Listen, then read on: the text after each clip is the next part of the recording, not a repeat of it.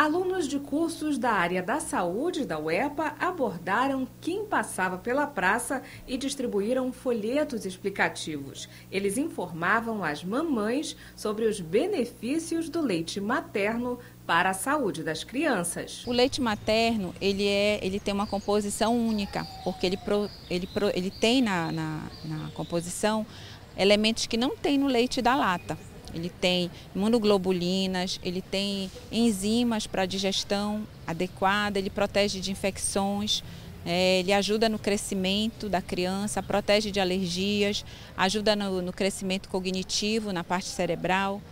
É imprescindível para qualquer criança. O leite materno deve ser o único alimento do bebê até os seis meses de vida, mas a amamentação pode se estender por mais tempo.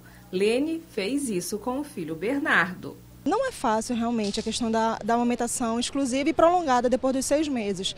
É, a gente tem que ter uh, realmente um foco, porque ocorre dores nos seios, ocorre rachaduras, mas assim tem como a gente recorrer né, a outros métodos, como o próprio leite, ele, ele ele faz um tratamento né, de cicatrização. O pediatra do Bernardo, ele relata né, que poucas mães continuam a amamentação, ele fica super feliz, super empolgado, porque a gente continua, né, e ele incentiva também